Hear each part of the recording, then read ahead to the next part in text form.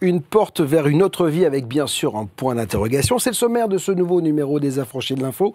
1h30 pour tenter de répondre à cette question qui finalement met en lumière le sens même de la vie. On en parle ce soir et comme tous les mercredis, on est en direct sur tous les réseaux sociaux de BTLV. Alors bonsoir, bienvenue, je suis Bob Belanca.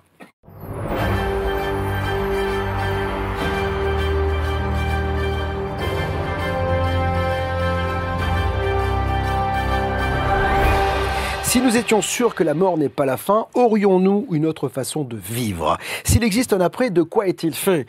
Retrouvons-nous les personnes que nous avons perdues. On en parle ce soir avec les affranchis de la rédaction, à commencer par le docteur en philosophie qui a son mot à dire sur les expériences de mort imminente, c'est Mathias Lebeuf. Salut Mathias. Salut Bob. Ravi de, t'avoir parce que c'est vrai que c'est un sujet euh, alors, qui nous ramène à la philosophie, hein, la vie, la mort, l'existence, ici, maintenant. Euh, elle est bien sûr avec nous euh, régulièrement, c'est Jeanne Boudra. Bonsoir Jeanne. Bonsoir Bob. Ravi de t'accueillir une nouvelle fois pour ce sujet qui est bien sûr un sujet important puisqu'il parle de nous et de cette vie peut-être après la Euh, François Demier, il a fait, mesdames et messieurs, son jubilé. Il a fait son match d'adieu. Il a fait sa descente des Champs-Élysées. Il est avec nous ce soir. Salut François. Salut Bob. et t'es pas resté longtemps chez toi. Hein. C'est un, peu notre Charles Aznavour en fait. Il fait, ça. il fait ses, adieux, il revient. Euh. je pense que tu vas faire beaucoup d'heureux ce soir parce que tu as beaucoup manqué. Et on va te retrouver régulièrement dans les affranchis de l'info pour que voilà, tu puisses euh, nous éclairer de tes lumières. Euh, on verra tout cela. Tom sera aux réseaux sociaux ce soir, bien sûr, comme à l'accoutumée. Il va pouvoir, bien sûr, relever tous vos commentaires, vos questions, euh, celles que vous allez pouvoir délivrer euh, pendant cette heure et demie. Et puis notre grand témoin ce soir, c'est Christian Faure. Bonsoir Christian. Bonsoir Bob. Ravi de vous accueillir. Vous avez enseigné pendant 20 ans le français et la littérature. Vous avez travaillé pour le ministère des Affaires étrangères en étant notamment attaché linguistique. Et puis euh, vous avez été également attaché culturel à Saint-Pétersbourg, ville magnifique, très chère parce que j'ai voulu y aller pendant les fêtes de Noël. C'est inabordable en termes de prix, mais dans tous les cas, on voit que c'est une jolie ville parce que beaucoup veulent y aller. Euh, expérience de mort imminente, c'est votre bouquin. Allez, portée sans ses significations. Euh, vous avez glané bon nombre d'informations pour nous livrer cet ouvrage. On va avoir votre point de vue. Vous êtes le grand témoin, c'est-à-dire que le micro est ouvert, vous allez pouvoir réagir à tout ce qui va être dit. Pourquoi avoir, envie, euh, avoir eu envie d'écrire un bouquin euh, comme celui-ci qui est paru chez JMG dans la collection Fonction Psy Parce que il y a d'abord beaucoup de témoignages. Ils, sont croissants sur YouTube. Mhm. Je me suis inspiré essentiellement de ça. Il y a aussi des livres. Et euh, ce qui est stupéfiant, c'est qu'ils sont corrélés. Je veux dire, ils vont pas dans des sens opposés, mais dans des sens convergents. Pas identiques. Alors, j'ai, euh, comme on dit en, mathématiques, j'ai factorisé, j'ai essayé de voir les points communs, les divergences, et j'ai organisé ça en lien avec euh, la problématique, alors religieuse, et la problématique, on va dire, spirituelle en général. Mmh, mmh. Alors, euh, effectivement, vous avez raison de le souligner. Ce qui est assez étonnant, on va en parler ce soir, dans ces expériences de mort imminente, c'est le point commun. C'est-à-dire qu'il y a toujours un facteur, un déluminateur commun qui nous laisse penser que finalement, que l'on soit blanc, noir, jaune, riche, pauvre, euh, euh, SDF, juif, athée, laïque, musulman, ce que vous voulez, quand les gens vivent une expérience de mort imminente, elle est pratiquement identique, à quelques choses près en fonction aussi de ses croyances et de l'état dans lequel on se trouve, les gens voient cette lumière, etc. Qu'en est-il véritablement? C'est la question qu'on pose. Est-ce que c'est une porte vers une autre vie? Avec un point d'interrogation. Je vous ai posé la question, vous qui nous regardez et qui êtes fidèles, euh, bien sûr, de BTLV. Le sondage Twitter, les EMI sont pour vous. Écoutez bien, regardez votre euh, réponse. La preuve d'un après pour 61,9%, une autre dimension pour 16,7%. Et dû au cerveau, il y a une grosse faute d'orthographe. J'avais demandé est-ce qu'on la, on la, on la on la répare, mais elle n'a pas été réparée. Pour quelques, je ne sais pas, j'ai même pas vu le pourcentage, tellement la faute m'a écorché les yeux. Et pareil pour, euh, ça c'est YouTube, la preuve d'un après, 55%, une porte vers une autre dimension, 28%, et dû au cerveau, normalement c'est D-U-E-S, hein, je rappelle, comme ça vous verrez qu'on parle français, au cerveau, surtout qu'on a un, un, linguiste qui est ici. Donc pour 16%, donc on a un prof quand même, attention mesdames, messieurs. Donc il faut faire attention, mais que voulez-vous, ce sont des jeunes, c'est la nouvelle génération qui s'occupe des sondages. Donc euh, parfois, on est un peu avare d'accord. bon, euh, on voit quand même que les gens sont, enclins à imaginer que euh, finalement, ces expériences de mort imminente sont des fenêtres vers un après. Avant d'aborder, de, de découvrir ces sujets, vous aviez déjà votre vision de, cette, de cet après? De vision, non. Non.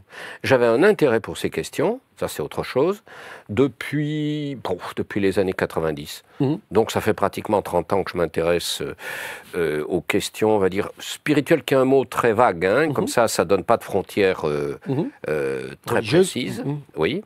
Mais en même temps, j'avais pas eu l'occasion de d'avoir des témoignages d'expérience Mhm. si vous voulez. Or, ces témoignages m'ont frappé. Alors qu'en plus, à l'époque, il faut dire qu'il y avait une circonstance particulière, c'est que j'étais aux États-Unis, où euh, j'allais à l'époque avant le Covid euh, régulièrement, bon maintenant c'est devenu plus difficile, et euh, j'ai appris que je pourrais pas revenir en Europe. Mhm. J'ai appris au mois de mars. D'accord. J'ai commencé un peu au mois de janvier, et je suis resté trois mois aux États-Unis. Il n'y avait pas de confinement strict. Il y avait des restrictions, mais il n'y avait pas de confinement comme en France, donc j'ai n'ai pas voulu rentrer.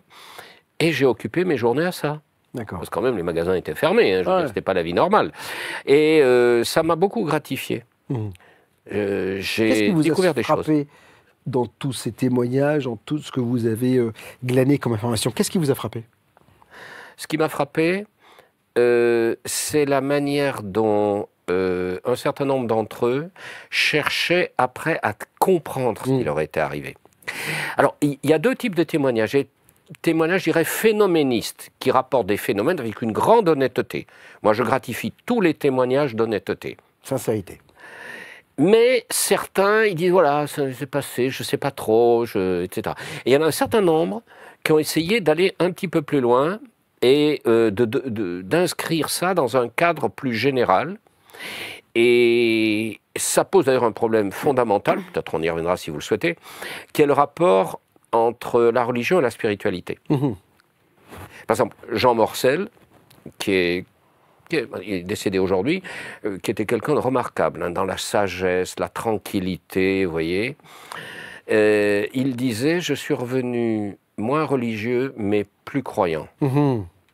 Or, aujourd'hui, croyant, c'est assimilé à religieux. Ah non. Mhm. Mais c'est marrant parce qu'aujourd'hui, euh, vous me dites ça, je recevais un prêtre exorciste ce matin et il me disait il faut bien faire la différence entre la foi et la croyance.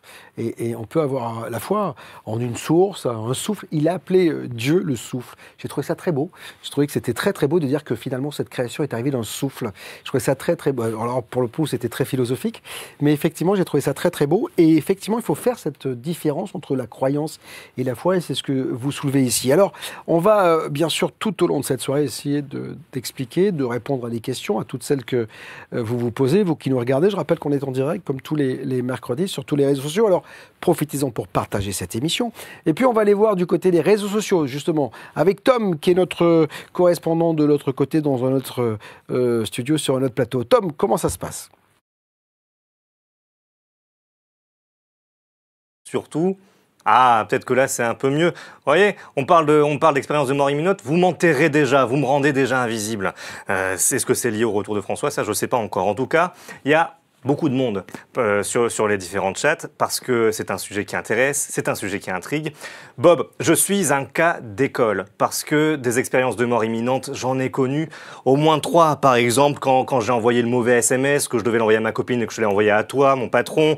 Quand par exemple je suis avec ma copine en ville et que je croise ma maîtresse. Ou encore quand je croise mon ex euh, que j'ai quitté il y a cinq mois, enceinte de cinq mois. Crois-moi, je l'ai vu la lumière. Tu auras remarqué que c'est souvent lié aux femmes avec moi, mais bon, c'est le mal de beaucoup d'hommes.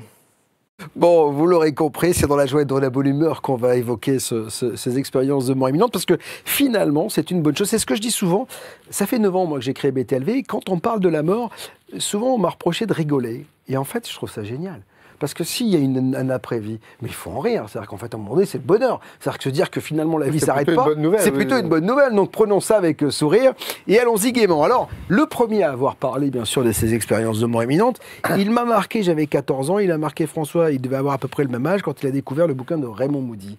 C'est un maître, c'est un, un- On a failli l'avoir un jour. Alors, fabuleux Raymond Moody, parce que pour l'anecdote, il accepte de faire une, interview à BTLV, mais il n'a pas Internet. Donc on lui a dit ça va être compliqué pour euh, faire un duplex. Vous voyez ce que je veux dire Mais Raymond Moody a été le premier, et c'est vrai que c'est le pionnier. Oui, c'est le pionnier. Effectivement, quand on parle de Amy, on ne peut pas ne pas parler de, Raymond Moody. Alors, Raymond Moody, c'est quelqu'un euh, qui a au départ un, un background euh, très, très sérieux.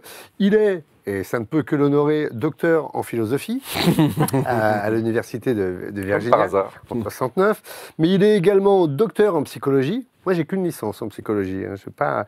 Et également euh, docteur en médecine. Vous avez vu comment il place sa, licence de non, psychologie c'est quand même, euh, voilà, donc, euh, C'est quand même. euh, Moi, j'ai une licence de moto, je crois. Ça, licence de foot. De tennis aussi. Euh, donc c'est un chercheur de euh, renommée euh, mondiale et ça va être une figure, ça va devenir une figure ma- majeure dans l'expérience des morts imminentes. D'ailleurs, c'est lui qui a un peu, c'est pas lui qui l'a inventé, mais c'est lui qui a sacralisé. Il l'a vulgarisé euh, les- déjà. voilà, c'est ça. Il l'a rendu le- accessible à tous, le- parce que je, je crois avoir lu avant.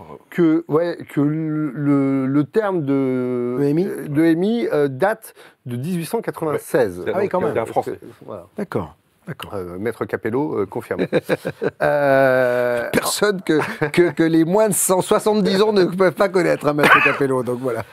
En tout cas, Raymond Moody est le premier à avoir mis en lumière justement ces phénomènes et à avoir apporté son crédit euh, universitaire à, euh, ces, événements, et notamment en publiant en 75 un livre qui a fait date, qui a été vraiment le livre qui va ouvrir la voie à, plein d'autres, La vie après la vie, euh, ouvrage qui a été vendu euh, 13 millions d'exemplaires quand même, sur un sujet qui jusqu'alors n'était absolument pas défriché. Alors Moody va écrire pas mal de livres. Il est euh, l'auteur de plus d'une douzaine de livres, notamment, euh, j'en ai sélectionné euh, quatre, mais je vais en parler de trois parce que j'en garde un quatrième pour, pour la fin. La lumière de l'au-delà, qui est publié en français chez Robert Laffont en 88, et puis Paranormal, une vie en quête de l'au-delà, Robert Laffont, toujours en 2012. Euh, en fait, Robert Moody va s'intéresser Raymond. euh, Ray- euh, oui, Raymond, pardon, Raymond Moody va s'intéresser aux expériences de, de mort imminente et il va avoir lui-même une expérience de mort imminente en, euh, quatre- en 91 euh, et ça va justement contribuer à changer un peu et, et à le rendre plus honnête sur ce- son, sa démarche en fait d'intellectuel. Il dit un homme qui a été lui-même un patient devient un meilleur médecin. Mm. Donc il, il s'intéresse à ce sujet, il fait une expérience de mort imminente et euh, il, se trouve un peu euh, transfiguré. On verra d'ailleurs en cours d'émission qu'une expérience de mort imminente, ça ne laisse pas intact. Mm. Et mon Moody a été aussi euh, transfor- transformé. Mais il passe de spectateur à acteur. C'est ça. Ouais, c'est ça. Ouais. Puis il l'a vécu de l'intérieur, donc ça, ça, ça, ça lui donne une autre euh, dimension pour traiter, Un autre disait euh, Christian, les, les témoignages. Il y a une chose qui m'a amusé, c'est que euh, Raymond Moody lui-même dit que c'est Platon, figure-toi, qui lui a inspiré sa méthodologie de travail. Il dit, dans le Phédon, Platon insiste sur la nécessité de toujours introduire un élément narratif dans l'étude de l'après-vie, car c'est ce qui aide les gens à appréhender les concepts de la vie au-delà de la mort physique, et le recours indispensable à un mode de raisonnement conceptuel qui permet d'aller au-delà des histoires elles-mêmes. Mhm. Et c'est ces deux techniques que Raymond Moody va appliquer à son traitement des cas, ces deux points qui vont le guider dans sa recherche. Donc on voit que même son travail de philosophe a en fait alimenté euh, son travail d'universitaire sur euh, la notion euh, de MI. Alors, il est important pourquoi? Il est important notamment parce qu'il est le premier à avoir sorti les caractéristiques communes à toutes les expériences et avoir identifié, alors ça peut être discutable, mais toutes les caractéristiques et toutes les étapes et, à les avoir thématisées de ces fameuses EMI pour définir ce qu'on pourrait appeler une expérience type. Alors, dans cette expérience type, euh, Moody identifie une quinzaine de traits communs. Euh, alors, il y a, euh, je ne sais pas si on va tous les citer, il y a l'incommunicabilité en premier, c'est-à-dire qu'au départ, on, on ne trouve pas les mots, on ne sait Mm. pas comment, comment dire. Deuxième euh, point, l'audition du verdict. J'ai entendu une voix qui me disait Est- Est-il mort? Sentiment de calme et de paix, il y a des bruits euh, aussi. Euh, souvent, les témoignages disent J'entendais quelque chose qui ressemblait, euh, genre, à un tintement de cloche ou, ou dans le lointain. Euh, bien évidemment, le tunnel, euh, classique. La décorporation. Le contact avec d'autres. Souvent, dans les témoignages, on a je me suis aperçu de la présence d'un tas de monde, des gens que j'avais connus autrefois et qui étaient passés dans l'autre monde. Donc il y a des rencontres en fait.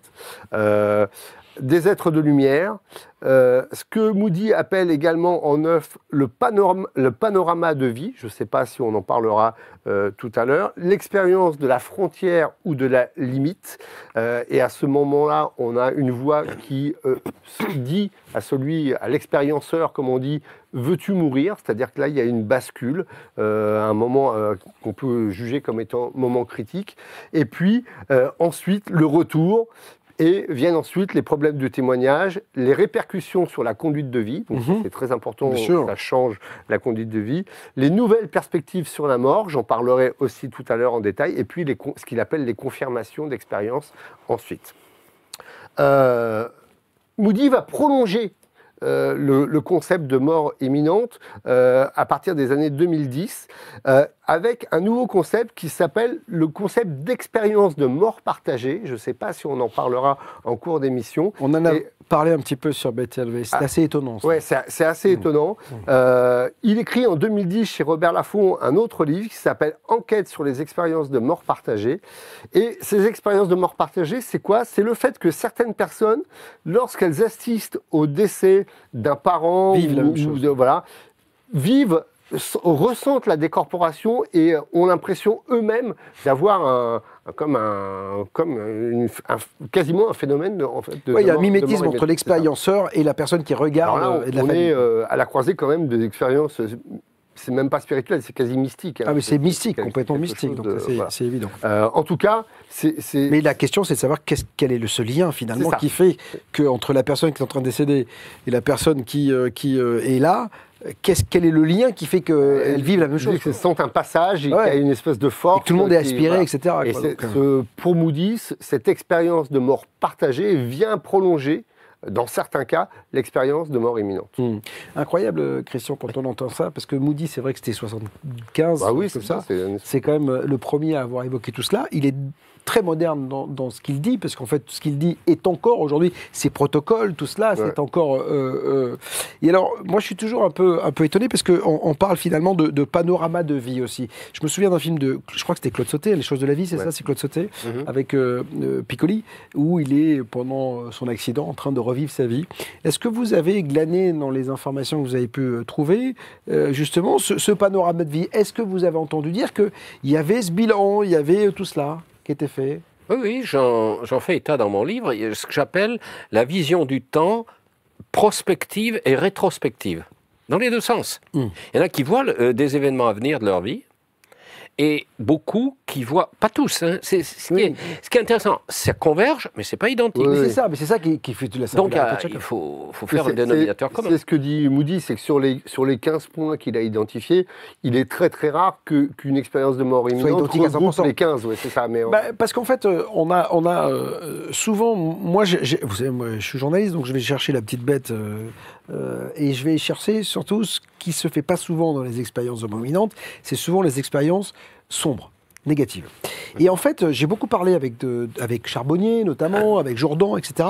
Et ces expériences de mort négative, même si elles sont rares, elles existent. Donc il faut les Oui. prendre aussi en considération. Absolument. Et souvent, les gens, les spécialistes, ceux qui travaillent, les toubibs, etc., ou ceux qui ont écouté, ont pu glaner ces informations de l'état psychologique au moment de l'expérience de la personne.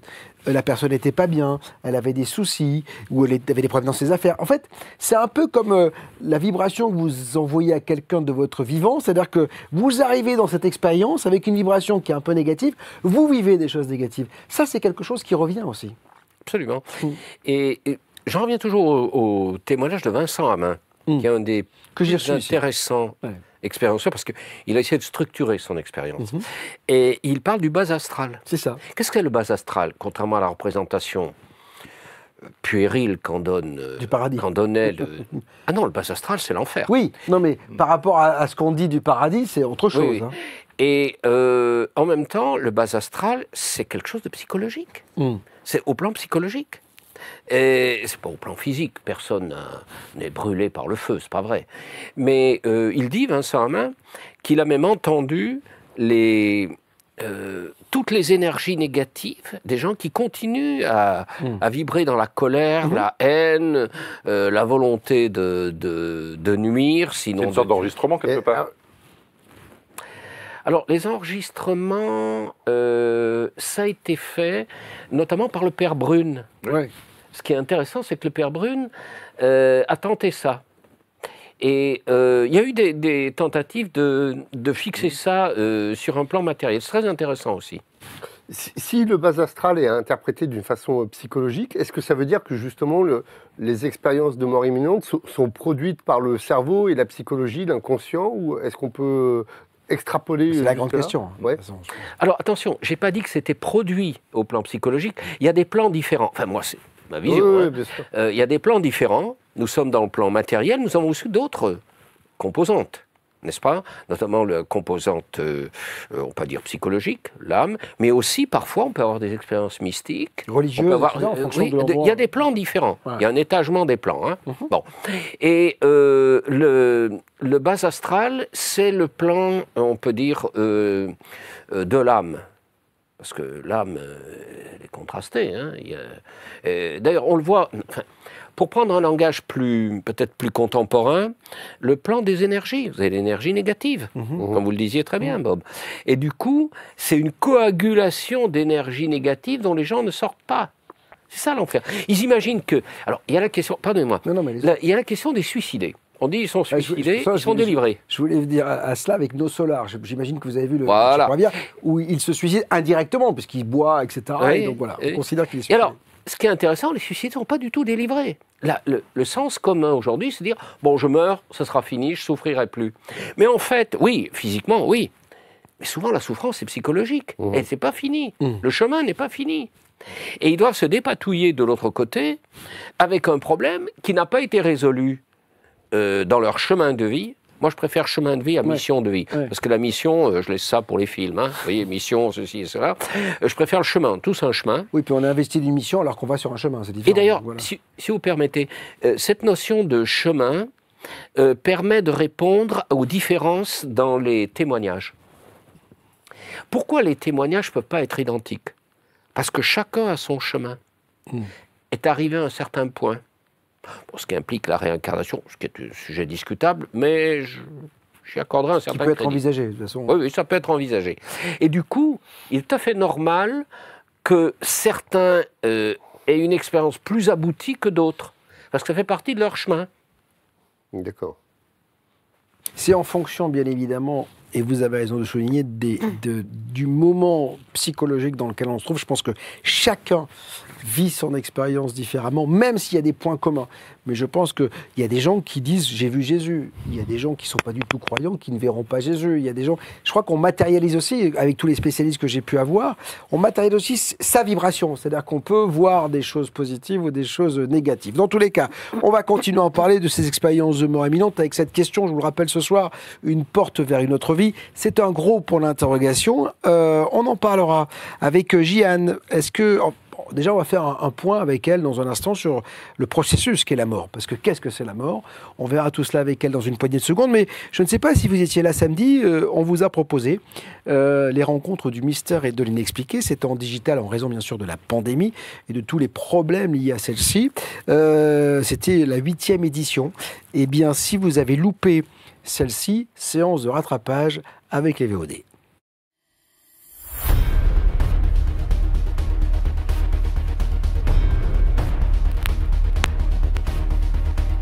Levant machinalement la tête, notre témoin aperçoit soudain un drôle d'objet dans le ciel.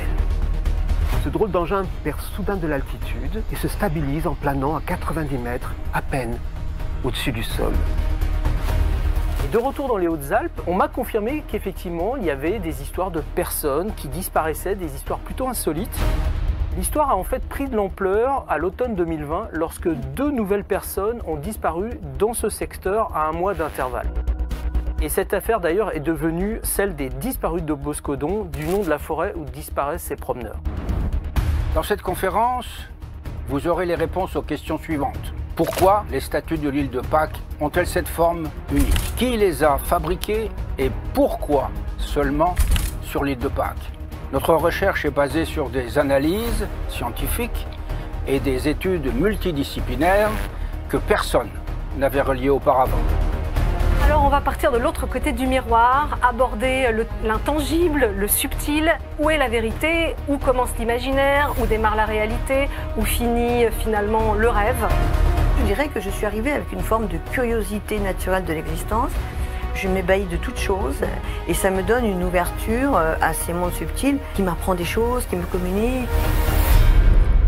Les rencontres du mystère et de l'inexpliqué 8 en VOD, elles sont disponibles sur btlv.fr ou avec le lien euh, que Tom va mettre euh, dans le chat, puisque c'est lui qui anime les réseaux sociaux ce soir. Je rappelle qu'en plus, profitez-en, hein, elles sont à moins 50%, puisque c'est Black Friday. On, bien sûr, bah, Black Friday jusqu'à lundi euh, soir minuit, parce que lundi, c'est le Cyber Monday.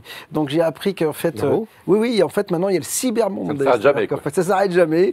Mais dans tous les cas, bah, c'est bien pour ceux qui veulent et qui n'ont pas encore souscrit à BTLV ou qui voudraient se- s'offrir des masterclass, des VOD. Euh, c'est à moins 50%, profitez-en.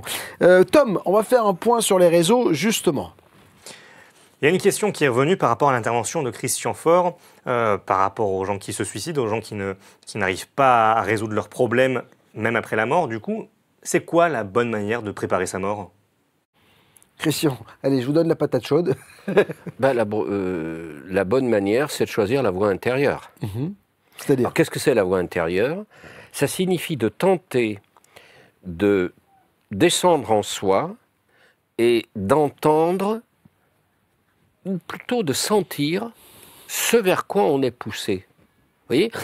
Dans nos vies, on est tous, à un moment ou à un autre, alors on dit on a envie, ça c'est la, traduction psychologique, mais il y a quelque chose qui nous pousse à faire quelque chose, euh, à réaliser telle ou telle euh, tâche, à accomplir tel acte, etc. Donc écouter en soi profondément. Ça c'est une, une possibilité.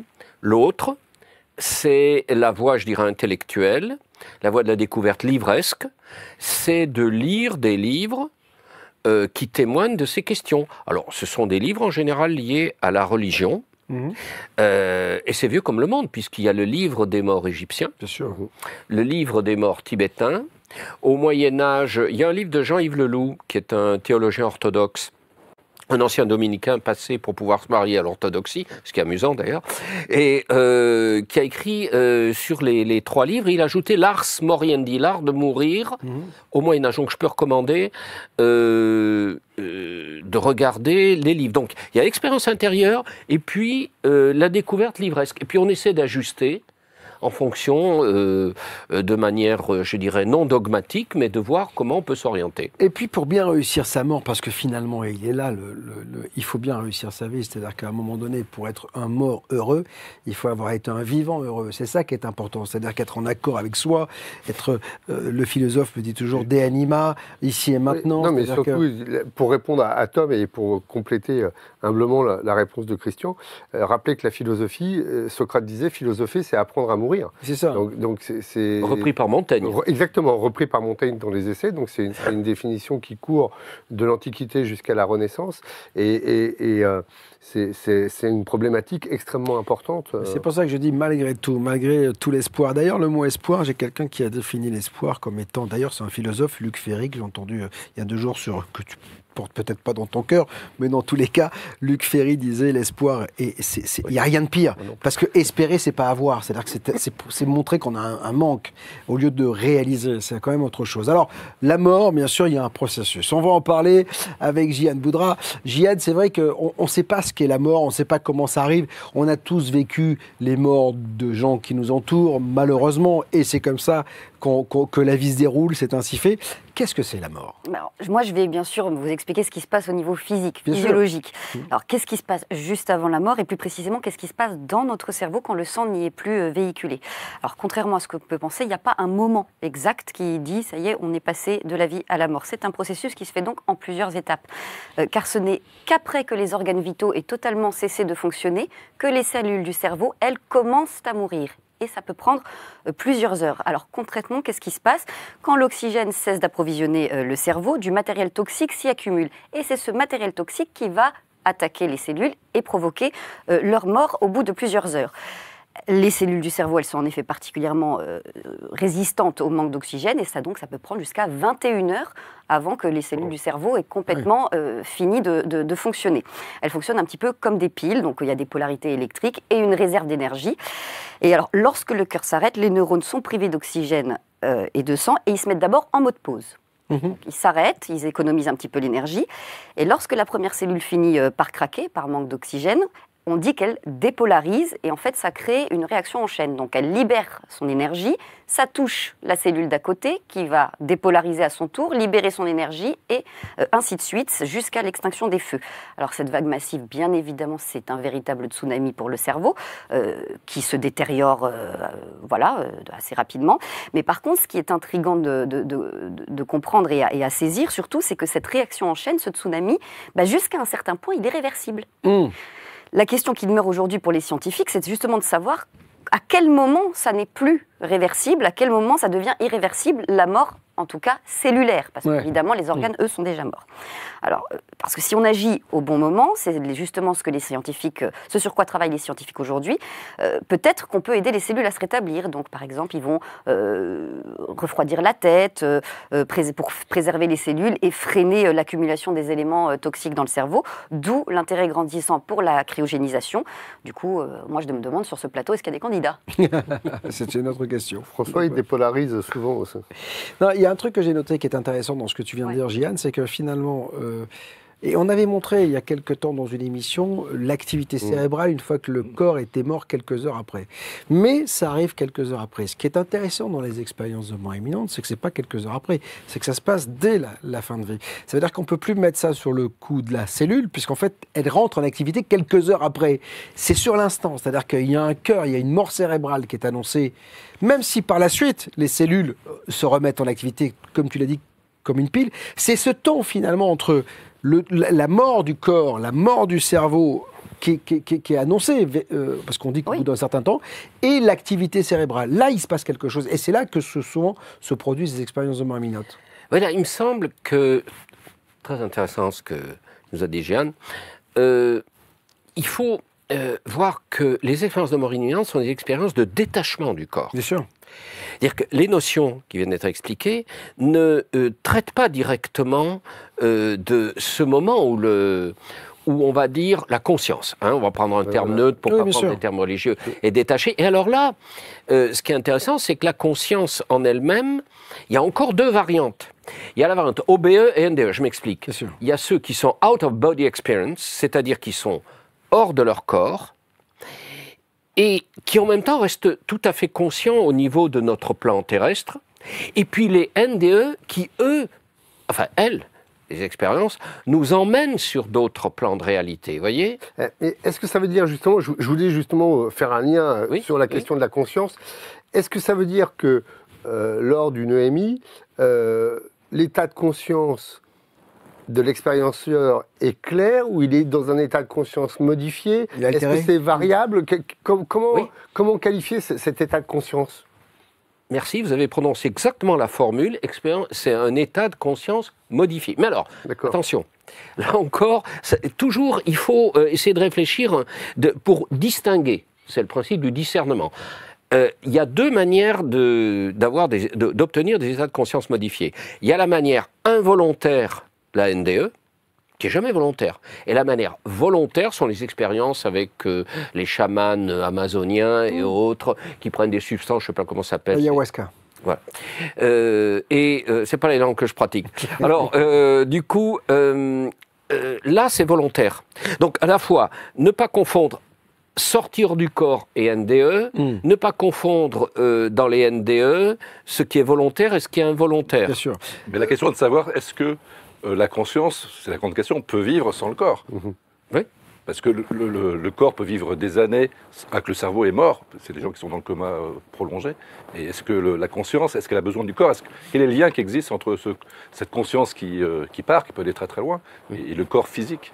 Est-ce qu'il y a un lien? Est-ce qu'il y a un câble? Est-ce qu'il y a quelque chose? Là, vous posez la question de la réincarnation. Est-ce qu'il y a incarnation ou pas? Pas, pas- pas forcément, on peut continuer à... Ah non, mais je Euh, veux dire, oui. il y a, je, je voulais entendre par que préalablement à euh, le, Mhm. notre entrée dans un fœtus, hein, à l'origine, euh, il y a une conscience. qui vient ici s'incarner. Alors, je sais que c'est un gros débat, puis il faut se méfier. Il y a tout- toute une série de courants néo-spiritualistes, Mmh. plus ou moins occultistes, qui abusent. Je ne dis pas qu'ils ils ne parlent d'une chose qui n'existe pas. Non, non, ça existe réellement.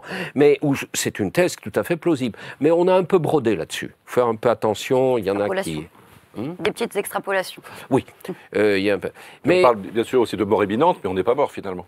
alors, il y a un débat euh, sur expérience de mort provisoire, Ouais, ou expérience de mort imminente. Euh, Où est la frontière Ben, on est dans le flou là. Ouais. On est en train. Alors, je, je vais peut-être aborder un autre truc, mais on va, on va le refermer tout de suite. On est en train de passer à une autre ère. On est en train de quitter l'ère des poissons pour aller à l'ère du verso. Et ça, ça se fait sur des dizaines, voire euh, euh, au moins des centaines d'années. hein. Donc on est en train de soulever toute une série de problèmes qu'on ne soulevait pas euh, en 1950 quand je venais d'apparaître au monde. Oui, et- Pardon, mais ça change quoi le, le- le passage de l'ère du, du poisson à, à l'ère du verso ça- Alors c'est tout un débat. hein. L'ère du verso, c'est une ère de reparler avec du Christian monde. Turpin, Mm. qui va venir chez vous bientôt, qui est un ami à moi. Et, euh, et je vais essayer de faire court.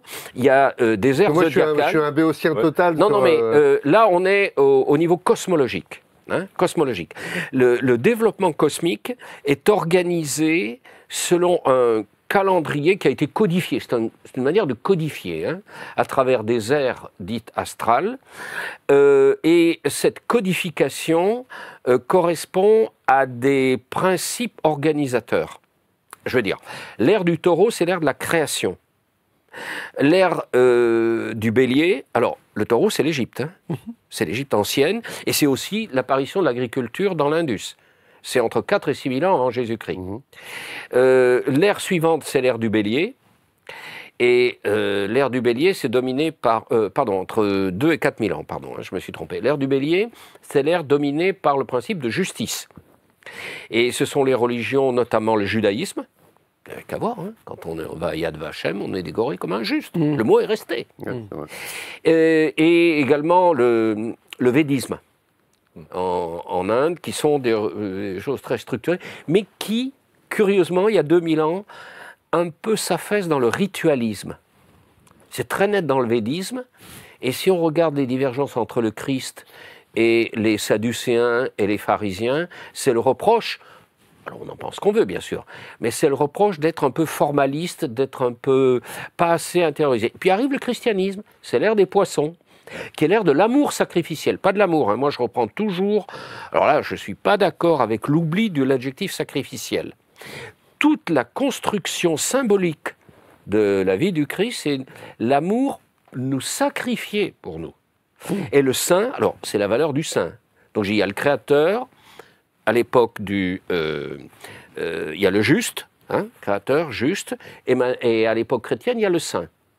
Et maintenant, on est en train de passer à autre chose, qui est l'ère du verso, qui n'est pas encore réalisée, à mon sens, hein, euh, mais qui... Mais ça commence, parce qu'on sent les changements. On, On sent est les tout à fait ouais. d'accord. Et euh, c'est une... D'où la dissolution de toutes les religions. Alors on pourrait parler, parce qu'il n'y a pas que le christianisme. L'islam aussi est en train de se dissoudre parce que c'était une religion spirituelle à l'origine. Voir ce que c'est devenu. Hein. C'est une religion politique maintenant. Euh, qu'elle n'est pas à l'origine et qu'elle n'est pas fondamentalement. Vous voyez? Et du coup, là, on passe à une ère. Alors, c'est une ère de liberté. Ah bon?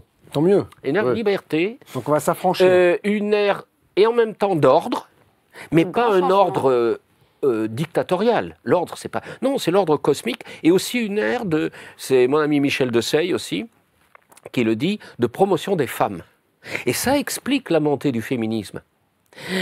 Les formes du féminisme, personnellement, je les discuterai un peu, la forme que ça prend, et les idéologies. Mais l'émergence de la femme, oui, ça c'est l'avenir. Eh ben, je suis d'accord avec vous.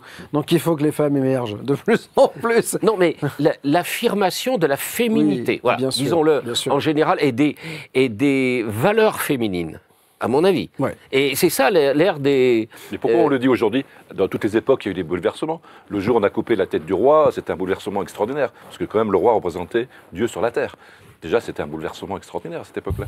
Donc des bouleversements faut pas attendre 3000 ans pour qu'il y ait de gros bouleversements. C'est long quand même, euh, le, le bouleversement. C'est-à-dire que si l'ère du verso, c'est des siècles et des siècles avant que ça se Bah, mette le- en place. quand Louis. XVI, ça fait deux siècles. hein, c'est quand même- Oui, Oui, c'est pas beaucoup. Ouais, justement, c'est ce que je dis. que Ouais. Les, les bouleversements, moi, j'ai j'ai l'impression qu'il y en a tout le temps. Bon, enfin, c'est plus facile de couper la tête du roi que d'attendre l'ère du verso. Ouais, parce que l'ère du verso, à tu ne maîtrises À pas. l'intérieur d'une ère, tu as toujours des bouleversements qui sont des événements, Enfin, mais l'ère. la Révolution française, c'était un, gros, bouleversement. Oui, mais alors là, si on regarde une ère, on précise de 2160, 2160 ans. On est d'accord Mais ça, c'est une approximation. Mais il y a des phases dans une ère.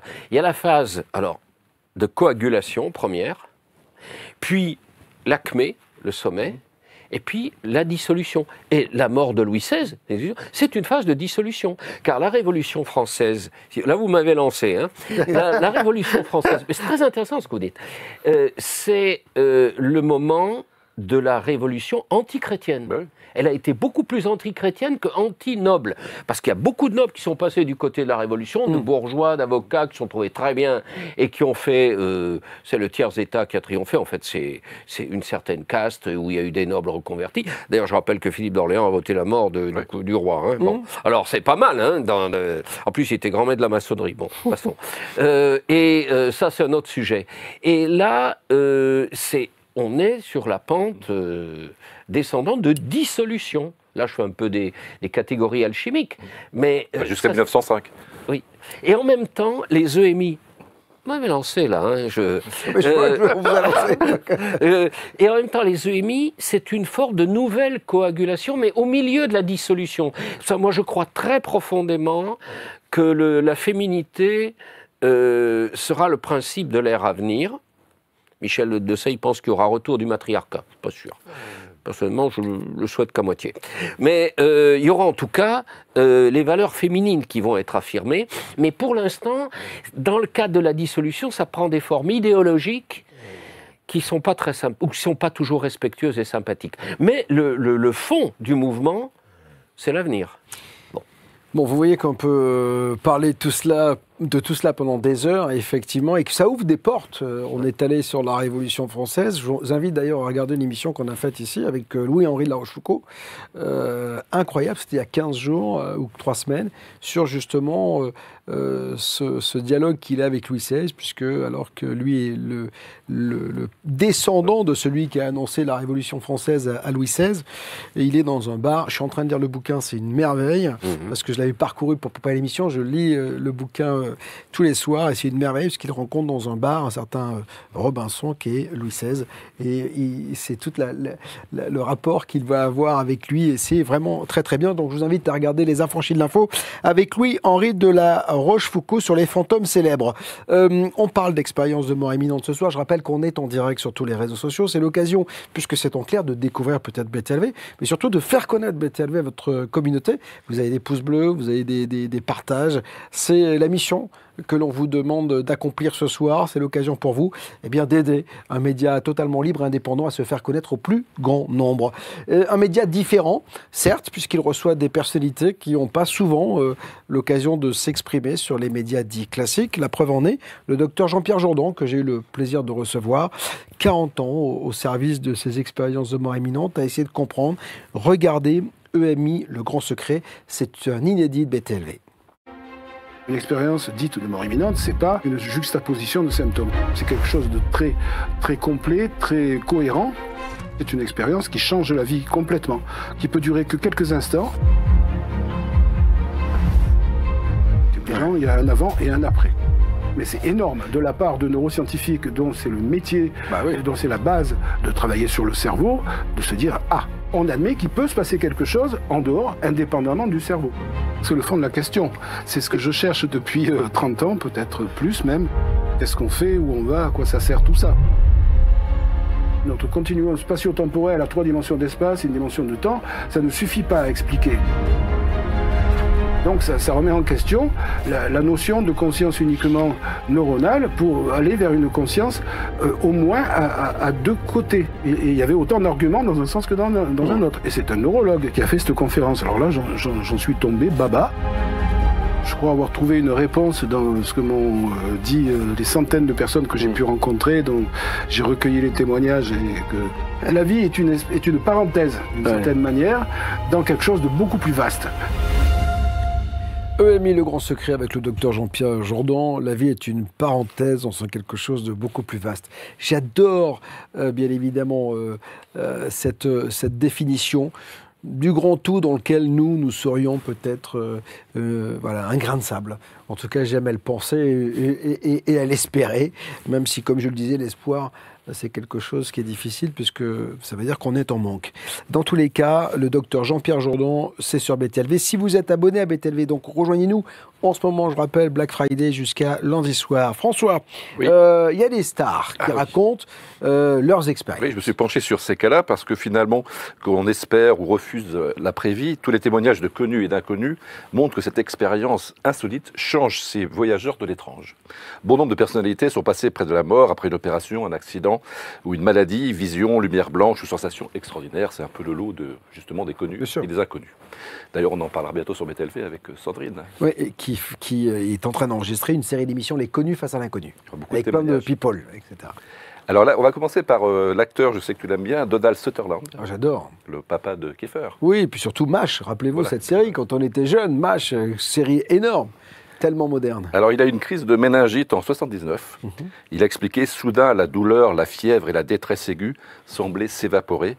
Je flottais au-dessus de mon corps, entouré d'une douce lumière bleue. J'ai commencé à glisser dans un long tunnel, Incroyable. loin du lit. Mais soudain, je me suis retrouvé dans mon corps. Les médecins m'ont dit plus tard que j'étais mort pendant un certain temps. Ouais, c'est ça.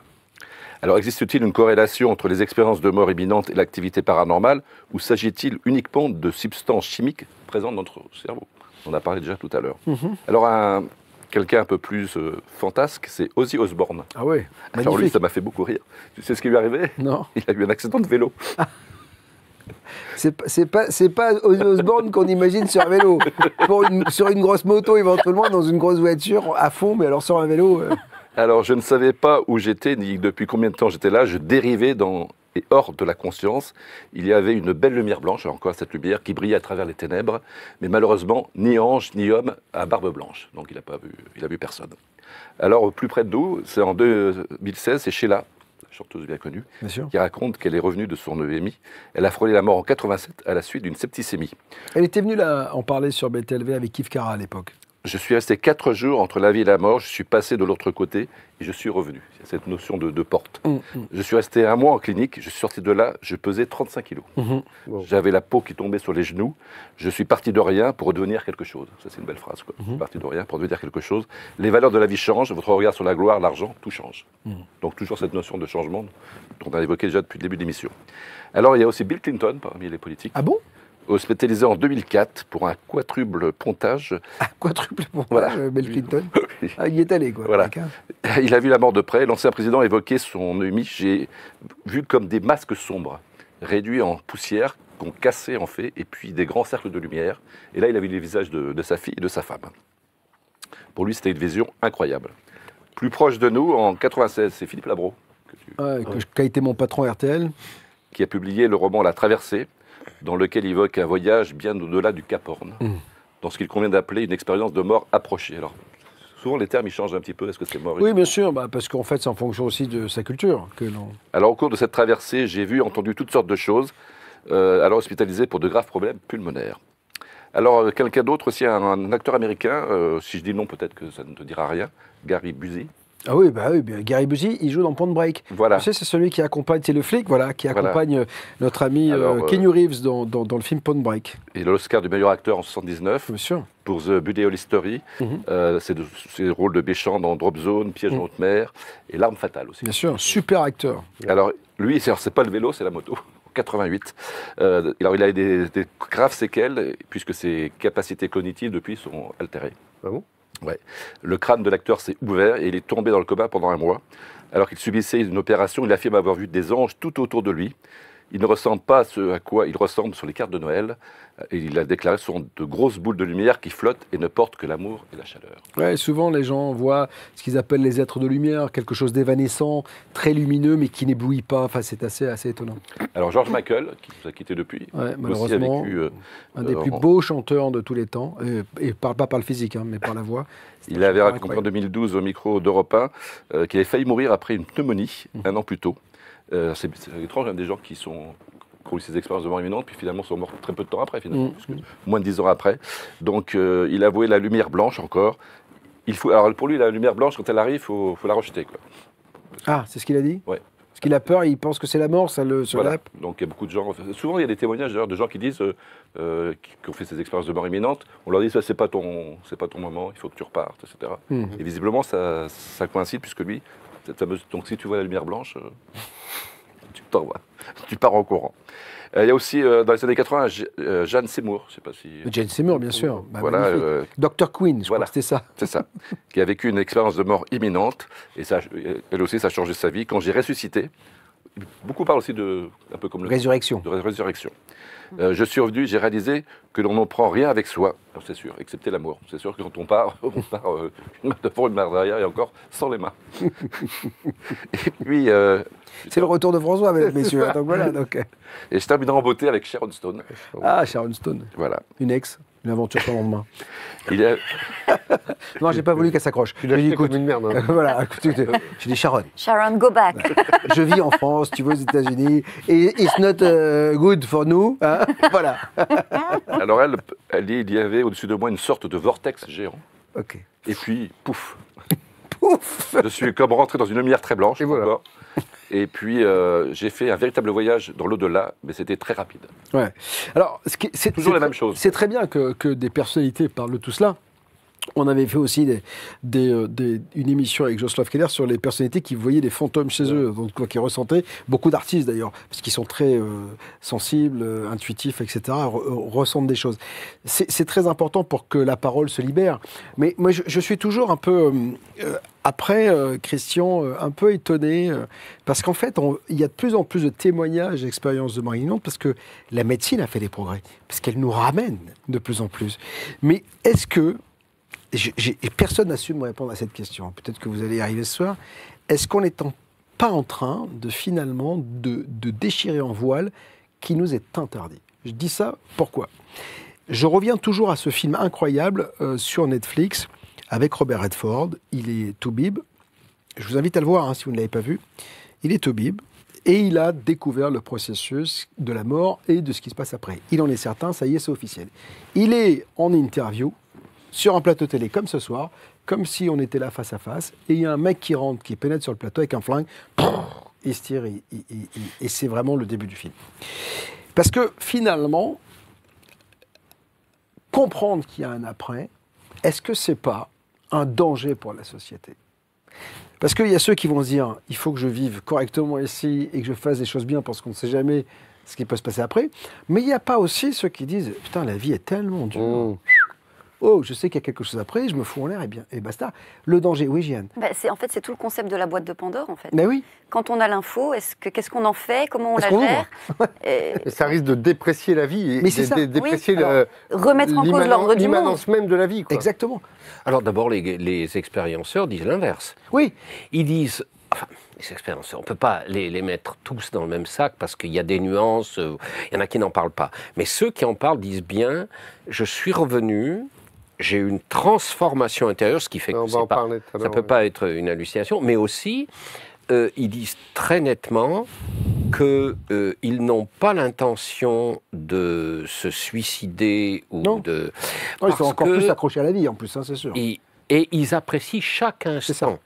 Donc, moi, je, je parle de leur témoignage, hein, Oui, c'est pas mon point de vue. Donc ça. Mais euh, Oui, mais ça, c'est ceux qui les ont vécus.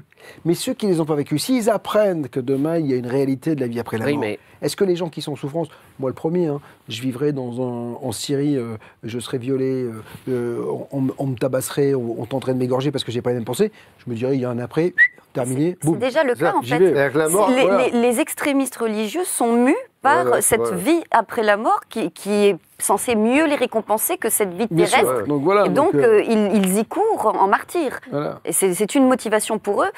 Donc, euh, Donc c'est danger. Ça. eux, ils sont fait, pour, pour eux, il y a Pour moi, déjà j'ai un la sensation La, la mort en fait, fait une sorte de reboot, en fait. J'ai la sensation qu'on de- qu'on voit, qu'on est, on est en train d'ouvrir en fait une Oui. porte qu'on n'aurait pas dû Alors, ouvrir. là, comme une parenthèse sur les extrémistes religieux, ils sont poussés par des forces sataniques. Précipités comme le fait euh, Daesh du haut des immeubles, les homosexuels parce qu'ils l'étaient, c'est satanique. Hmm. C'est l'inverse de toute l'humanité et de. Bon, je ne sais pas si on peut appeler ça Satan, mais en tout cas, ils sont Ah, si, doc- j'appelle- endoctrinés. non. J'appelle. Non, non. Si, si, le mot satanique veut bien dire ce qu'il est. Satan, c'est l'adversaire. Il y a la voie qui est prescrite par Dieu. Alors, bon, euh, disons. euh, en termes le beaucoup linguiste plus qui profanes, c'est. euh, non, mais en termes beaucoup plus profanes, c'est euh, les normes civilisées entre nous, le respect d'autrui, enfin tout ce qu'on a sans être forcément croyant, hein, d'accord Mmh. Et eux, ils pratiquent l'inverse. Le fanatisme, c'est l'inverse de ça. Mmh. C'est tout est permis. Tout est permis. C'est-à-dire que la voix dont vous parlez, malheureusement, elle n'a pas été exprimée clairement. Et résultat, ça ouvre la porte à des interprétations purement dogmatiques et qui aboutit justement à ce type de comportement. Alors, je crois pas. Alors, je- juste sur le mot, euh, l'adjectif dogmatique.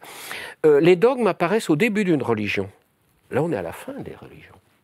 Les dogmes Et- dans l'islam sont apparus plus tard, quand ils ont fermé la porte de la réflexion religieuse qu'on appelle 11e l'ijtihad au XIe siècle. l'ijtihad, oui. Au XIe siècle, c'est vrai. Mais euh, ils sont quand même euh, en état de décomposition au regard du, du noyau spirituel, hein. Mhm. pas au regard de. En apparence, euh, ils sont. En fait, c'est sur une base uniquement démographique. hein, ils ne Mhm. s'étendent pas à d'autres aires. Les seuls qui s'étendent d'autres aires, c'est les évangéliques ou les bouddhistes. Oui, alors c'est vrai que là, il y a une explosion totale des Oui, mais alors les hindouistes aussi, ils sont un milliard maintenant, parce que c'est une question démographique. Mais alors, pour revenir à la question, Bob. du voile. Est-ce qu'on Ah, a le pas- voile. est-ce finalement, est-ce qu'on n'ouvre pas une porte qu'on ne qu'on ne Voilà. devrait pas ouvrir Alors. et qui pourrait emmener le monde dans un dans euh, Alors. pff, là où il ne devrait pas aller Alors, vous êtes au centre de ce qui m'a poussé à écrire ce livre. Oui, on finit par... sens et signification, on fi- mesdames, messieurs. Voilà. Euh, on finit par euh, se chauffer, comme disait Montaigne, en frottant la cervelle les uns contre les Mais autres. c'est ça qui est intéressant. Hein oui, oui. Et euh, qu'est-ce qui m'a poussé à faire ça? C'est tout simplement que euh, l'expérience en elle-même ne démontre rien. Euh, les phénomènes ne prouvent rien, dit Guénon. Il a raison. Il faut les interpréter. Et ça, c'est un livre d'interprétation. Je suis moi-même. Enfin, non, je ne peux pas dire que j'ai fait une EMI. Même si je suis passé chez Joël Ferrin, elle m'a dit on a fait. Non, je suis pas convaincu. Mais euh, j'ai connu un état, bon, mystique, mais ça, c'est une autre expérience que je raconte dans Oui, un livre. on Donc j'espère qu'il paraîtra. Il est actuellement chez les éditeurs. Et euh, ça, c'est un détail. Et alors, ce qui est nécessaire, c'est pour l'interprétation de, de ces euh, phénomènes, qui effectivement prêtent à, prêtent à danger, parce que euh, il y a des esprits Oui, c'est l'interprétation finalement en alors, fait. et c'est pour ça qu'il faut le relier. Alors, je vais choisir un mot à la fois juste et neutre, la gnose. Mmh. Et la gnose, c'est euh, la euh, religion au sens large, pas au sens étroit. Mmh. Et la gnose euh, excède le dogme bien qu'elle le fonde. Le dogme, c'est une expression, comme la loi peut être l'expression d'une valeur.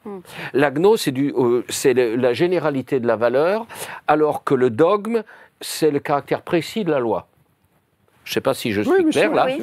Et alors, euh, par rapport à ça, euh, la gnose nous dit bien, bon, elle nous dit il y a un ordre du monde.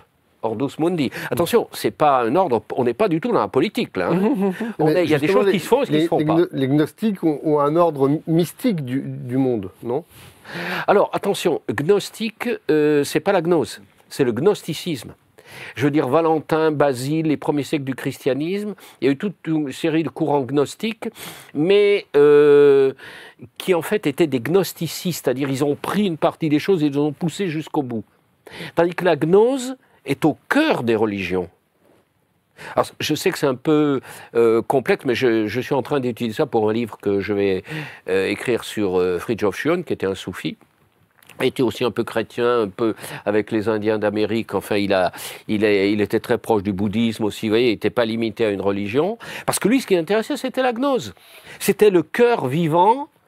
euh, et alors, quand on a, pour répondre à la question, quand on a les critères de ce qui se fait et de ce qui ne se fait pas, pour parler le langage très simple, bon, ce qui est le principe du décalogue, on ne tue pas. Ça ne se fait pas de tuer. Ça ne se fait pas de calomnier ça se fait pas de convoiter le bien de son voisin. Ça se fait pas. Vous voyez, ça se fait pas parce qu'il y a un ordre du monde. Ça ne veut pas dire que tu seras puni si tu le fais. Enfin, ça, c'est la chaîne karmique qui, le- qui s'arrange pour ça. hein. Il, y a une, au- il y a une justice immanente. Bon, enfin, ça, c'est notre, un autre détail. Mais il faut bien voir que euh, la gnose, formalisée par les dogmes et les catéchismes, Si on voit le catéchisme sous cet angle, ça va. Si on le voit en lui-même, non. On va avoir tendance à dire ah, je suis pas libre, j'ai le temps de faire ce que je veux. Ça met en ordre l'expérience et ça évite ça. Et alors, ce qui est intéressant chez les expérienceurs, c'est que quand ils reviennent, ils cherchent le cœur de gnose de leur expérience.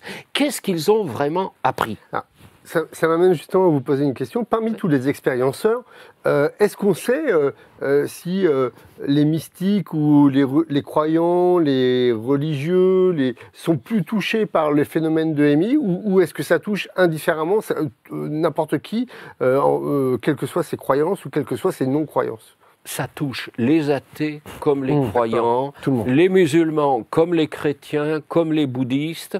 Il n'y a pas de limite parce que justement, on, prépare une autre ère qui est une ère où ces divisions, il y a un proverbe qui dit, les divisions entre religions ne montent pas jusqu'au ciel. Et pour prolonger ta question, euh, il y a beaucoup de témoignages, ça on le sait, mais est-ce qu'il y a des gens, est-ce que vous avez rencontré des personnes, des témoignages de personnes qui ont vécu ce, phénomène, mais pour eux, c'est l'imagination, c'est... Euh, euh, le, côté un peu. Euh, c'est la, drogue, c'est parce que j'ai. Non, mais effectivement, il y, a beaucoup, et j'en parlais avec d'ailleurs le, docteur Jean-Pierre Jourdan, c'est euh, une expérience hors du corps, le voyage astral, c'est pas une expérience de imminente. Il y a plein de choses. Tu peux prendre du LSD et avoir la sensation de corps. On a fait une émission, d'ailleurs, c'est pas moi qui l'ai animée, c'est euh, Sandrine Chopin, sur les, psychotiques. On voit qu'aujourd'hui, est-ce que le psychotique n'est pas finalement n'est pas un accélérateur spirituel? C'est le docteur Olivier Chambon qui en parle. Donc, on peut avoir ces, ces sensations particulière de out of body, etc., sans avoir fait d'expérience de la thématique d'ouvrir les portes de la perception. Exactement. Mais c'est les ayahuasca, c'est-à-dire qu'en fait, ayahuasca, quand on me dit, euh,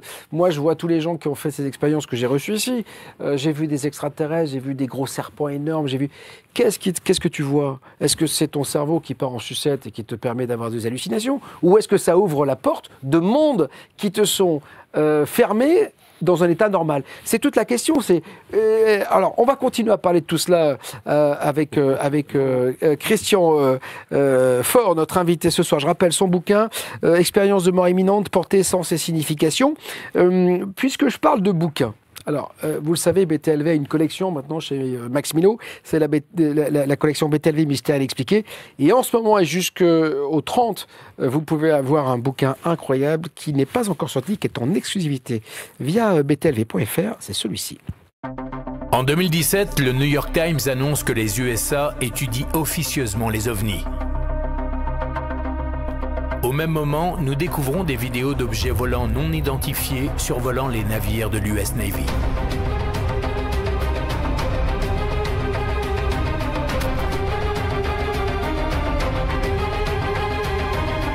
À quoi a-t-on affaire? Qui sont-ils?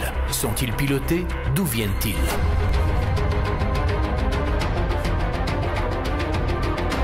Obligé de valider la réalité du phénomène physique, le gouvernement américain a ouvert le champ des possibles tout en rappelant que tout cela n'est pas nouveau.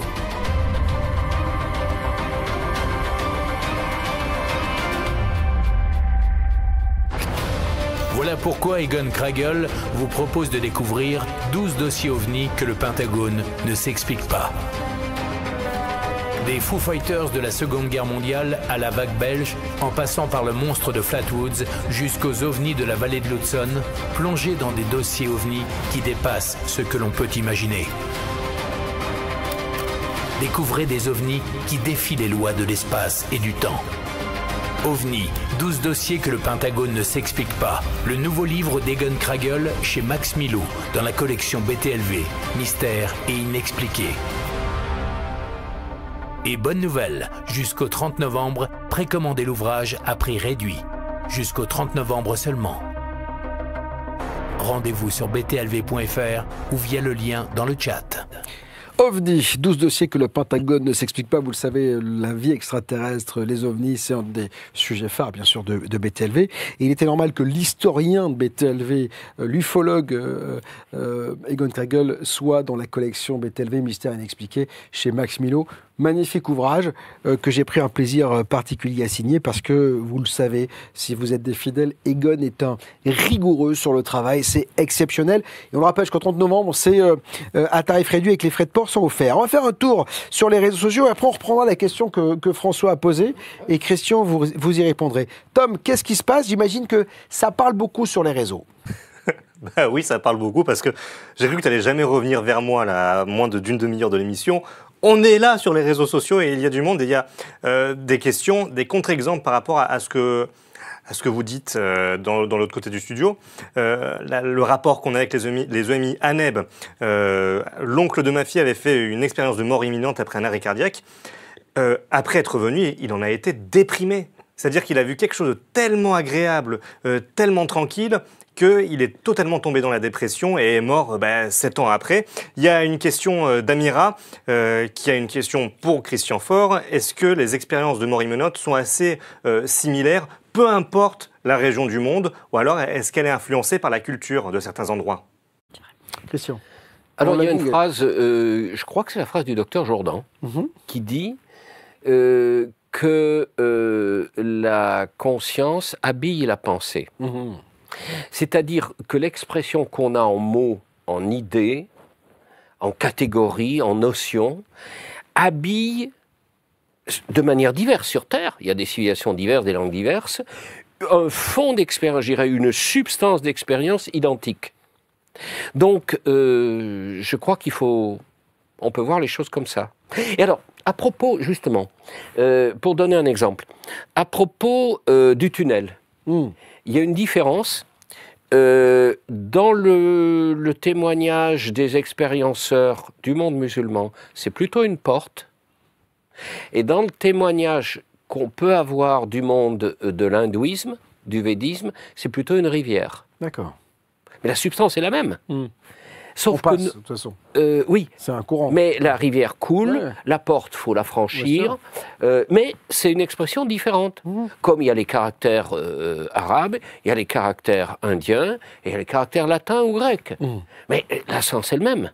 Simplement, c'est la forme qui est différente. Alors, euh, rassure-toi, Tom, on t'a pas oublié, hein, bien évidemment, mais c'est vrai que la, la discussion est tellement passionnée ce soir. Dans les affranchis de l'info, d'ailleurs, j'en profite pour saluer tous ceux qui viennent d'arriver. Il est un peu plus de 20 heures.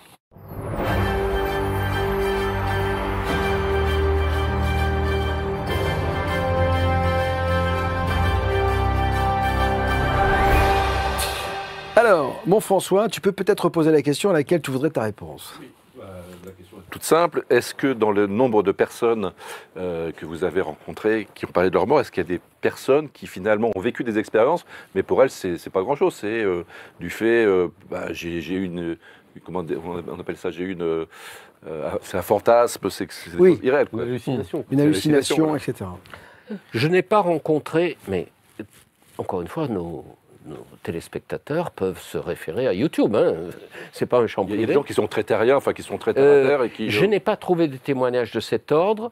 Euh, J'ai trouvé des nuances, des variantes. Il n'y a pas d'unanimité. hein. Euh, euh, Il y a ceux qui disent je ne sais pas, il y a une limite, je ne sais pas. Euh, Il y a ceux qui disent euh, que euh, il faut chercher euh, du côté des religions le- la convergence. Il y a ceux qui. Mais il n'y a pas de personnes qui disent c'est une hallucination. Pour une raison, c'est que pour une raison simple, c'est que euh, si c'est une EMI, c'est pas toujours le cas d'une EMI. Oui, hein, c'est important. euh, c'est une transformation au plan de l'existence, pas du mental. Or là, euh, ça veut dire qu'on se, se- nous, nous sommes dans le mental ici. Nous, nous réfléchissons, nous raisonnons, nous échangeons. Euh, là, il s'agit de l'existence, parce que c'est involontaire. Et le critère, si c'est involontaire, c'est que c'est au plan de l'existence. Hmm. C'est que c'est pas calculé, planifié. On ne calcule pas. Oui. Et c'est pour ça d'ailleurs que le suicide est proscrit. Alors moi, ce qui m'a étonné, c'est intéressant cette question du suicide, c'est que euh, les religions condamnent le suicide, sauf le shintoïsme, sauf au Japon, qui le promet, enfin Harakiri. kamikazes. Bah, Harakiri, quand même. donc, Oui. voilà. Hein Les kamikazes et harakiri, quoi. Oui, oui. Ouais, c'est ça. Mais c'est la seule culture. On ne le retrouve pas ni en Chine, Mm. ni le confucianisme, euh, ni le védisme, ni l'islam, ni le judaïsme, ni le christianisme, ni... Non. On, Euh, on le trouve dans certaines philosophies. Les stoïciens euh, prônent la mort euh, choisie par le suicide. Oui, alors, je dirais que c'est une des voies qui, qui peut être rapprochée. Il y a des voies différentes. Mais pour ma part, je suis très, très réservé vis-à-vis de ça. Mais simplement, euh, il n'y a pas d'expérienceur, pour euh, vraiment euh, répondre nettement, il n'y a pas d'expérienceur qui dit non, non, j'ai eu une hallucination, c'était un pétard qui est mal passé. vous voyez, non, non, non. Et- et en général, ils, ils parlent avec leur trip, si vous me passez l'expression. Vous voyez, ils parlent à partir de ce qu'ils ont vécu. Ça veut dire, mais il y en a qui disent, moi, j'y comprends rien, je sais pas, ça prouve rien, je ne sais pas. Mais l'expérience n'est pas niée. Alors, euh, dans un instant, avec euh, euh, Gian, on parlera des scientifiques. Est-ce qu'ils ont une explication? C'est un peu la, la question qu'on a envie de te poser tout à l'heure. Euh, mais avant cela, euh, on va évoquer avec euh, Mathias ce qu'elle change en nous. Parce qu'effectivement, une, une chose est sûre, tous les gens qui ont vécu cette expérience en reviennent changés. Ouais, Mais on- comment? on, on a tourné beaucoup autour de cette question et une chose est sûre, c'est qu'effectivement, euh, une EMI transforme profondément la vie de ceux et celles euh, qui en, font l'expérience. Il y a d'ailleurs une psychologue et, euh, qui est à la fois psychologue et hypnothérapeute qui s'appelle Cécile Coulas qui a écrit un livre sur, sur ce point-là, ce sujet-là des EMI, s'appelle Comment leur mort a changé leur vie. C'est un, un joli titre. Euh, ce que les expériences de mort imminente nous apprennent, c'est en, en fait 30 parcours, 30 témoignages qui, qui viennent euh, expliquer le changement de vie que ça a impliqué. Voilà ce que dit euh, Cécile Cloulas. Elle dit Quelles que soient nos croyances, notre culture ou notre quotidien, ces témoins nous transmettent leur enseignement après être revenus de cette autre dimension. Ils nous livrent les précieux messages de l'au-delà et concrétisent l'invisible en nous montrant ce que leur propre mort leur a appris sur l'existence et surtout sur la manière dont nous pouvons tous pleinement la vivre.